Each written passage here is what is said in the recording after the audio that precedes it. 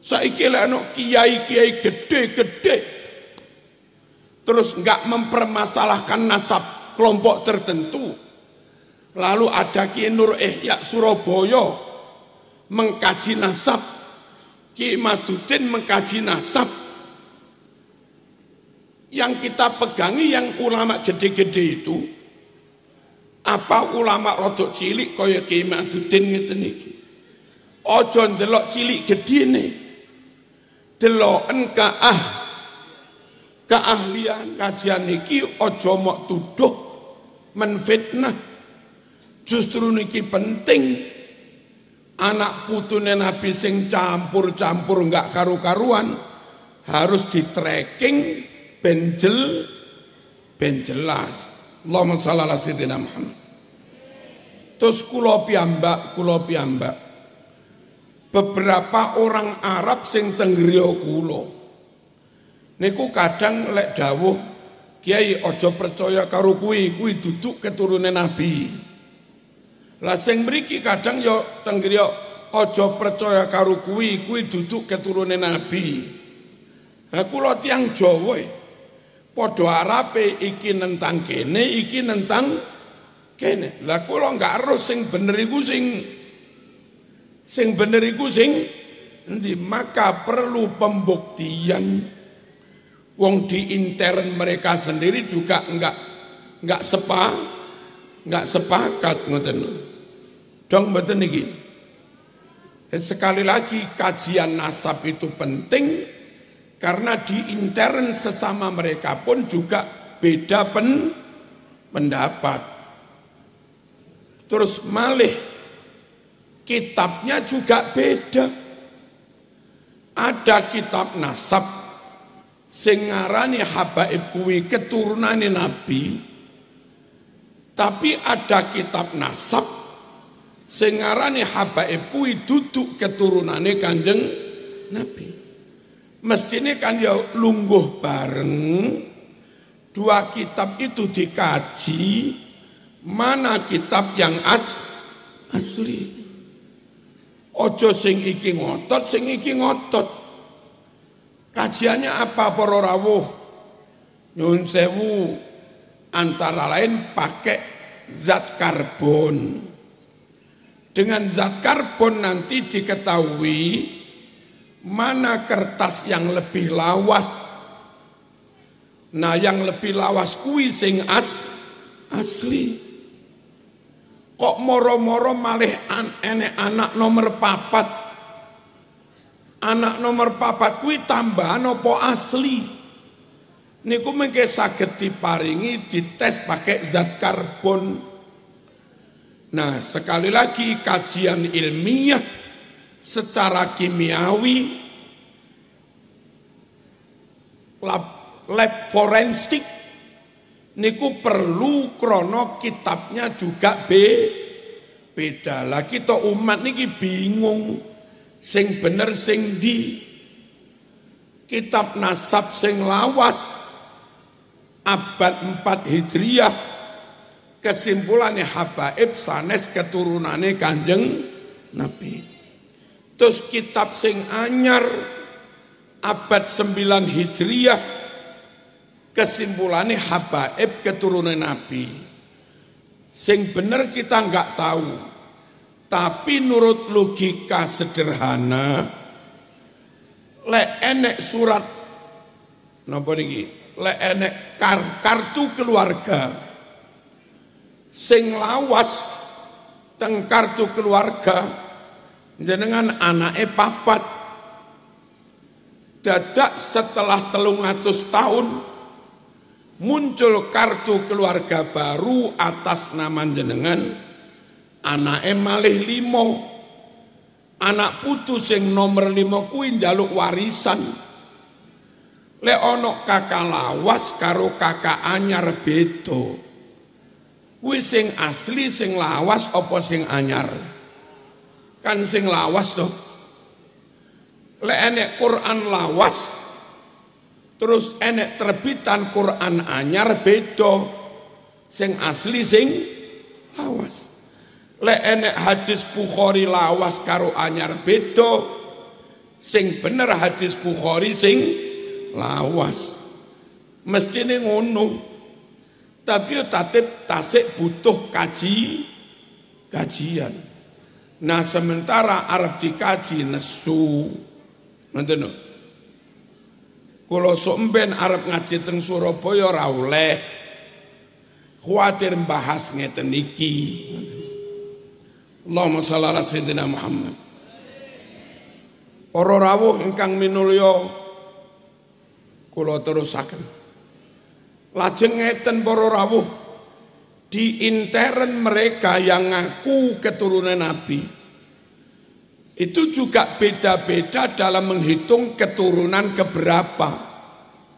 Kula mboten usah nyebut wonge wis. Ana sing ngaku keturunan Nabi yang ke-28. Niki sing arep ikat mau ora ngaji nih. Monggo ngaji mawon. Allahumma shalli ala sayyidina Muhammad. Onten sing ngaku keturunan ke-28. Ngaji mawon. Wonten sing ngaku keturunan ke-29. Sik wajar kacek siji. Tapi enek sing ngaku keturunan 38. Enek sing ngaku keturunan seket loro. Podo-podo ngaku keturunan Nabi. Kok ana sing 28, ana 52, ana 53. Enek 56 barang. Kaceke kok akeh. Padahal kacek patang keturunan kui kan yo kacek pat satu tahun. Wong tua karo anake kui umume kacek selawe tahun. Sama rabi umur selawe, enam likur duwe anak, Garwane umur rong puluh selikur, umur rolikur telulikur duwe anak. Jarak anak dengan ibu niku sering mekur telulikur tahun, rolikur tahun, selawi tahun. Jarak anak karo bapak sekitar enam likur, pitu likur, walu likur, niku. Nek sampai keturunan papat berarti satu tahun nek keturunane kacek rong puluh berarti lima ratus tahun. Nah di antara sesama mereka enek sing ngaku keturunan walu likur, enek sing ngaku keturunan seket telu, kacek selawe tahun, kok selawe tahun, kacek selawe nasab, lah selawe nasab itu sekitar Piro gue? Wis 500 tahun luwe. Sing bener kuwi endi? Kan yo perlu pembuktian, perlu kajian. Jadi kajian itu perlu karena di intern mereka juga ada kesimpang kesimpang siuran untuk menghasilkan sulalah keturunan Nabi tenan, asli tenan. Lamun kita ngalap barokah ya barokah tenan. Wong pancen keturunane Kanjeng Nabi. Lamun kita tawasul ya ijabah tenan. Wong pancen keturunane Kanjeng Nabi. Allahumma shalli ala sayyidina Muhammad. Paham napa mboten? Kula sambung sekedhik. Para rawuh ingkang minulya terus Quran piyambak mengisyaratkan anak putune Nabi supaya dijaga. Ben tetap murni gak campur-campur. Ben tetap bersih. Ben panggah suci. Innama yuridullah liyudhiba ankumur rijsa ahlal bait wa yutahhirakum wa Allah benar-benar ingin menghilangkan kotoran dari kamu hai anak putu nabi. Dan Allah ingin mensucikan kamu. Kok tolah-toleh ojo nyawang banserai tak baleni. Allah benar-benar ingin menghilangkan kotoran dari engkau hai ahlul bait. Hai anak putune kanjeng. Wa yutahhirakum tathira. Dan Allah benar-benar ingin mensucikan kamu. Nah supaya anak putune Nabi bersih suci. Gak kecampur-campuran putune kenaro gak kecampur-campuran putune angkling darmo gak kecampur-campuran putune apa lek baca negara Siapa? Enggak kecampuran-campuran putune Marzuki. Murni namung anak putune Kanjeng Nabi. Sekali lagi pengkajian tracking tahkik niku tetap penting ojo ditentang. Mengke dari hasil pengkajian itu wong sing tawadu andap asor meneng mboten dutun-tutune awake. Bareng diteliti tibake kuwi keturunan Nabi, ya kudu dilebokne. Dan orang yang selama ini diduga keturunan Nabi, tiba e ora, ternyata ora, ya kudu lilo di, kudu lilo dicorek. Untuk apa?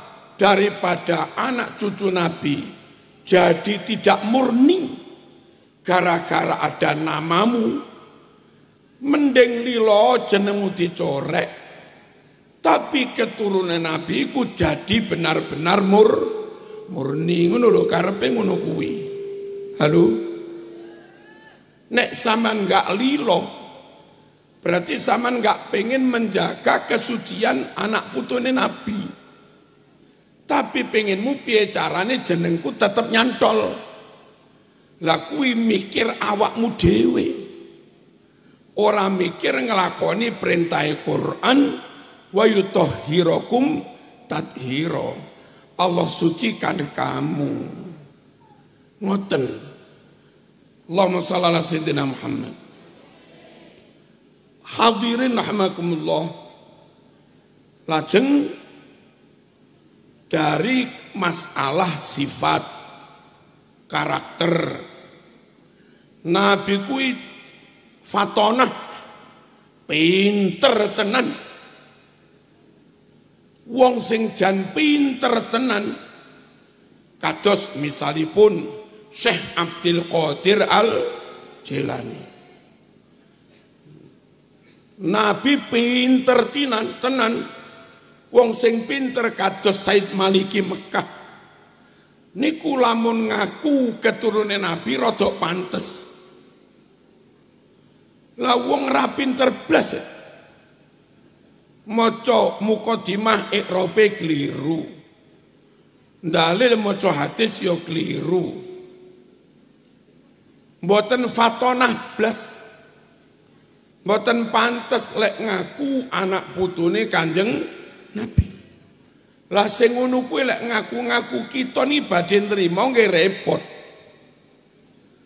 Terus Nabi niku sempurna fisike.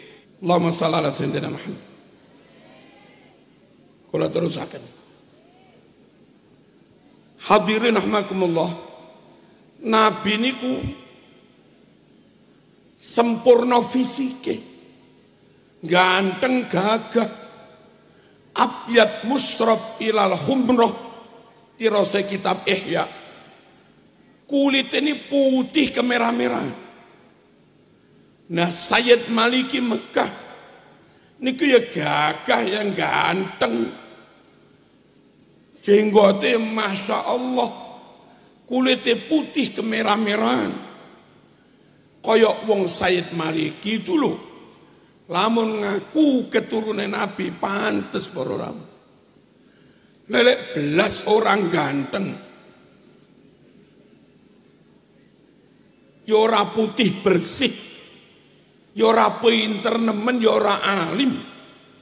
Kayak ngaku keturunan Nabi. Niku kan ya butuh bukti. Lah dibuktekne ra gelem ya wassalam. Terus nabi niku jembar dodone. Sabar diidoni mboten nesu. Ditarik cobai lecet gulune tirose hadis Bukhari. Nabi mboten nesu. Salat disoki tletong unta nggih mboten nesu. Malaikat Jibril usul gunung kubes tak cepote mawon tak amblek nih neng wong-wong kuwi ben matek. Jere Nabi ojo. Sopo ngerti bapak esek kafir, besok anak putune padha mlebu Islam. Kaya ngono kuwi sabare Nabi. Teng Taif dibalangi watu gocer getik. Mboten nesu. Malah ndongaaken ya Allah orang-orang itu jenengan paringi hidayah. hidayah. Mboten Nabi jembar dodone. Saiki anak wong ngamuan takbir prak. Presiden goblok. Lah ngono terus ngaku keturunan Nabi loh. Lah mereka kan repot banget ini. Jadi yang membuat umat akhirnya ragu. Nggih mriku piyambak mboten mboten mriki. Ojo nesu wong kono-kono dhewe kok. Allahumma shalli ala sayyidina Muhammad. Terus Nabi niku super amanah. Sak rambutnya gak tahu khianat.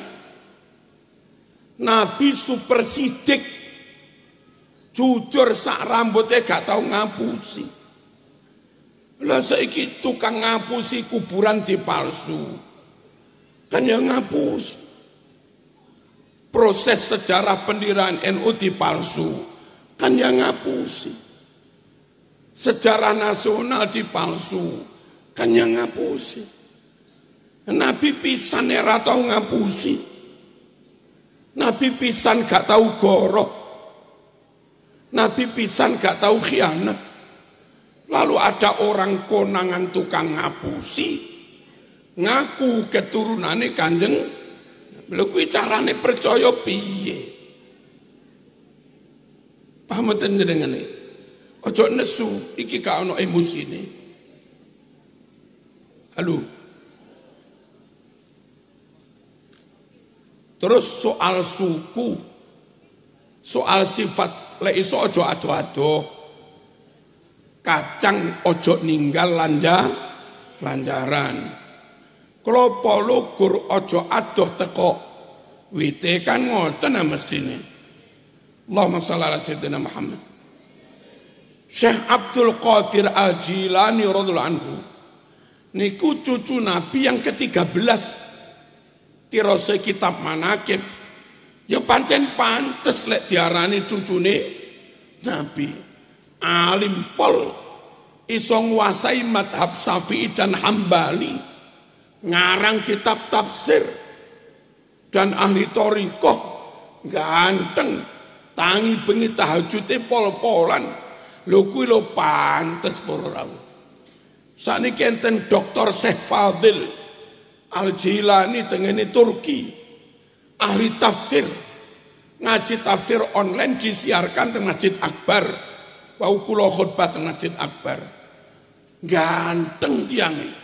Lho kuwi lho lamun diarani keturunan Nabi rada pantes. Bareng wong kaya Marzuki pesek nggak pinter belas ngamuan bodoh terus ngaku keturunan Nabi lo ketemu pirang ketemu pirang berkoro paham? Ojo gampang diapusi kita perlu sulalah ya Allah ridhoilah anak putu ini Nabi sing as asli sing tenanan mboten sing diragukan. Kadang-kadang sampai minta lebih dihormati daripada menghormati guru. Sampai dawuh satu kakinya kelompok mereka yang bodoh. Kaki Kaki dari satu orang dari mereka yang bodoh itu lebih mulia daripada 70 kiai ulama. Lewis kebacut dong iki. Halo. Jenengan teng langgar diulang Ustadz Syafi'i. Bahwa Ustadz Syafi'i gurumu tenan. Kulo nggak ada bapak emak ke Mustamar Ibu Zainab. Bahwa ke Mustamar Ibu Zainab niku wong tua kulo tenan. Kulo diulang tajwid kali Bu Umi Kulsum temblitar pas MI. Bu Umi Kulsum guruku tenan. Bahwa wong kui minta dihormati lebih. Katanya anak putune Nabi durung dibuktekne, durung mes durung mesti wong krana durung dibuktekne. Apa bener kula ken ora usah hormat ning guruku sing nyoto mulang kula? Beralih kepada orang yang belum tentu keturunannya kanjeng Nabi. Kan yo salah ngoten niku. Sing wis nyoto kon ninggal ra usah dihormati.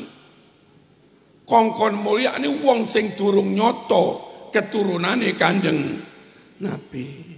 Lah ngoten niku lho. Sakniki kuwata para rawuh yang rodok keliruan neng wong tua rodok wani. Wong tuane lek gak tau diambungi tangane. Tapi lek ketemu wong-wong tentu uh mulak-walik. Guru TPK sing mulang Quran sampai hatam gak tahu diambungi tangane. Bareng mereka dianggap keturunan Nabi padahal belum tentu loh. Guru diniyah mulang nahu sorok sampai iso moco kitab. Gak tahu diambung-ambung tangane. Nah kono diambungi wolak walik. Padahal belum tentu. Guru niki nyoto. Kono durung tentu. Lah sing nyoto ramok hormati. Sing durung nyoto kok malah mok bermasalah. Allahumma salli ala sayyidina Muhammad. Paham ngeten iki nggih?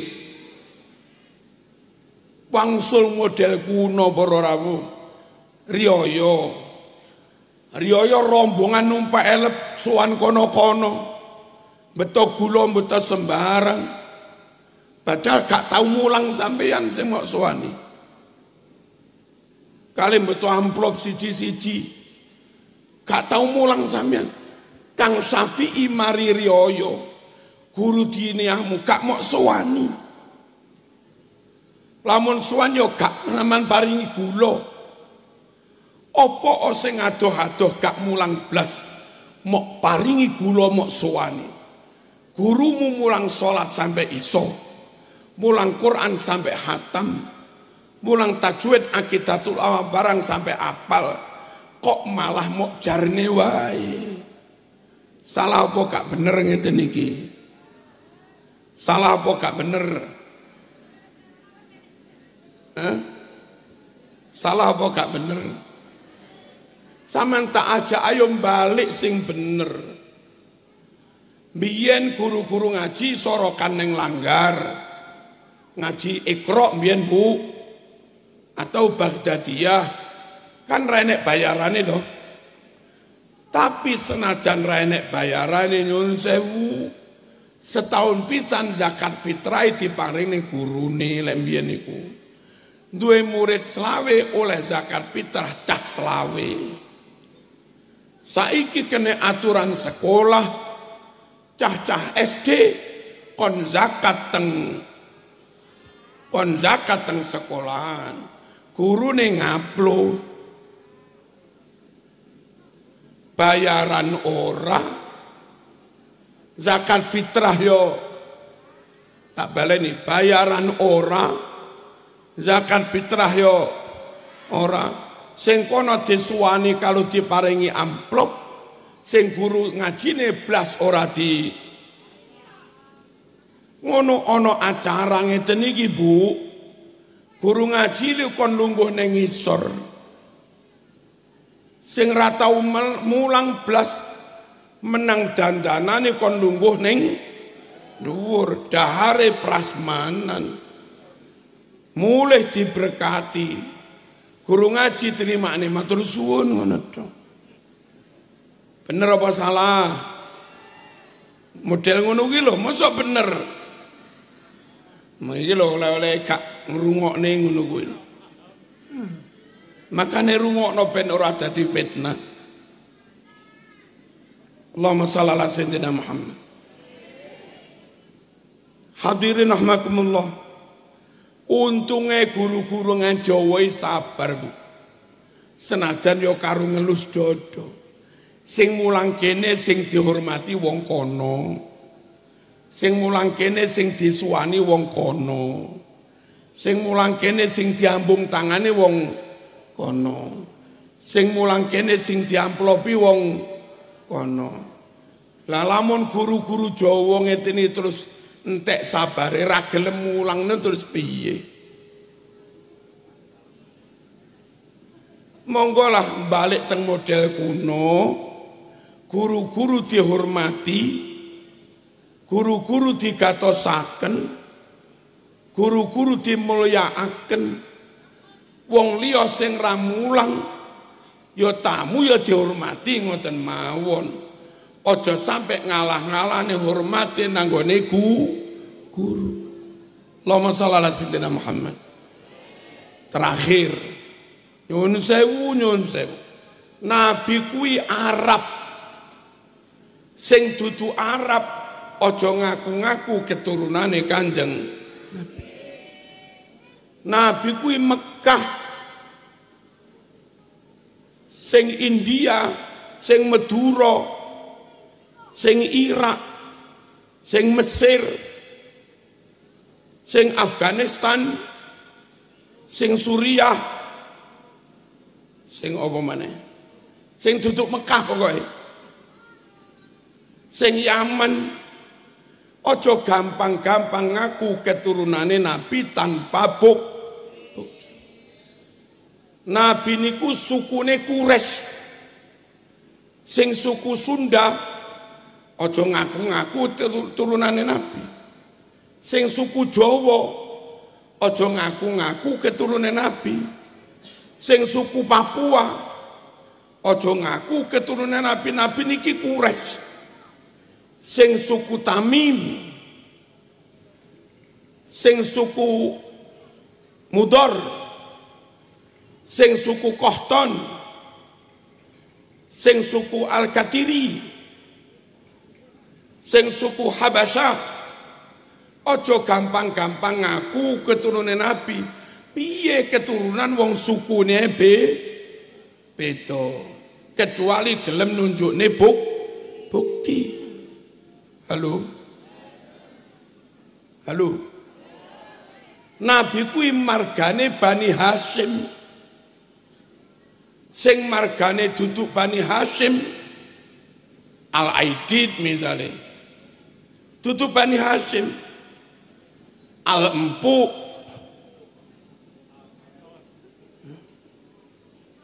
Nabi lu margane Bani Hasim. Sing duduk Bani Hasim najan Arab ojo ngaku-ngaku keturunane Kanjeng Nabi. Lah saiki suku apa ae? Marga apa ae? Cek gampange ngaku-ngaku keturunan Nabi. Sementara kita dianjurkan membaca doa doan irido kepada sahabat juga kepada anak putune Kanjeng Nabi. Lah dipilah endi anak putune Nabi tenanan, endi anak putu Nabi sing ora tenan, dikaji dipilah ora gelem. Tambah nes. Tambah nes. Lah piye carane mriki yakin? Kuwi putune Nabi tak tak tabaruki. Carane kene yakin? Kuwi putune Nabi tak hormati tenan. Lamun kula maringi pedah sitok ya ora rugi barokai gede tenan. Wong pancen putune nabi tenan lek mboten dikaji dipilah ngeten kuatir kadung pedahmu mok wehne berharap kuwi anak putune nabi tenan lah tibake putune kenarok piye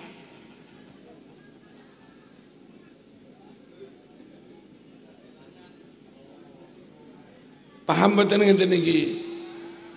Ya, tapi ulama-ulama gede dawuh kuwi pancen keturunane lho.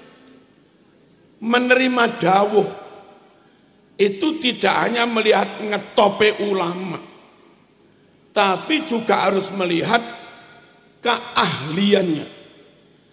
Imam Syafi'i luweh top timbang Imam As'ari.